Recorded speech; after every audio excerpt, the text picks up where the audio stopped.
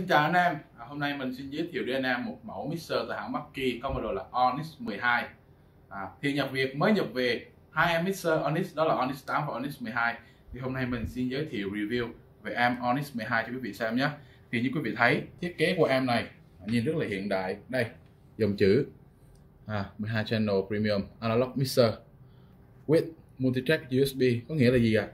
Có nghĩa là mixer này có thể vừa hát karaoke bên ngoài được vừa có thể dùng để thu âm được trong studio. À, thì bây giờ mình sẽ chia làm hai phần đó là phần hát live và phần thu âm.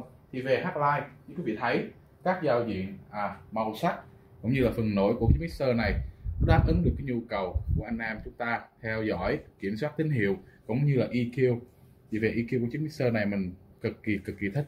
Tại vì sao? Thứ nhất là nó nhạy. Thứ hai nữa à cảm giác trực quan. Chúng ta chỉnh analog nó vẫn thích hơn là chúng ta chỉnh bằng parametric à, trên phần mềm.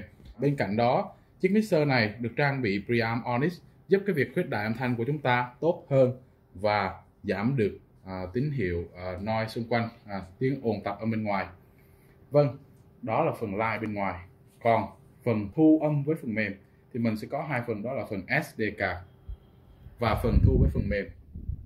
Thì mình sẽ nói về phần SDK trước.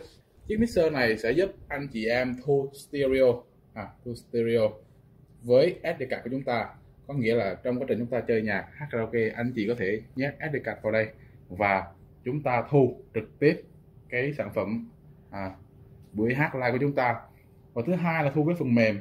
Thì phần mềm ở đây à, mình sẽ hẹn anh em một video lần sau mình sẽ chỉ anh em cách à, để anh em kết nối phần mềm và thu tất cả các track của mixer này. À, multi track nha quý vị.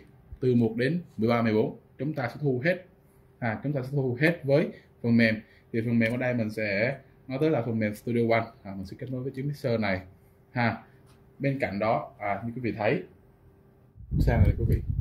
À, lúc này có ý nghĩa gì? Lúc này có ý nghĩa là khi chúng ta nhả ra thì âm thanh out nó sẽ ra. Hệ thống lab ra của mixer. Còn khi chúng ta nhấn vào thì nó sẽ out USB đó là out âm thanh của phần mềm. À, cái việc chuyển rất là linh hoạt giúp chúng ta kiểm soát âm thanh tốt hơn. À, đặc biệt phần quan trọng nhất mình muốn nói tới đây đó là phần effect của chiếc mixer này. Vì chiếc mixer này effect à, rất là đa dụng. Đây nha quý vị. Ha. Effect rất là đa dụng và nhiều chương trình effect cho chúng ta sử dụng. Bên cạnh đó chúng ta có thể à, chỉnh chi tiết. À, ví dụ như delay chúng ta có thể chỉnh time feedback high cut. Bên cạnh đó chúng ta có thể chỉnh EQ và chúng ta có thể lưu preset của chúng ta lại. À, vâng. Cảm ơn quý vị đã theo dõi video của mình. Mình là Phú. Xin cảm ơn và hẹn gặp lại.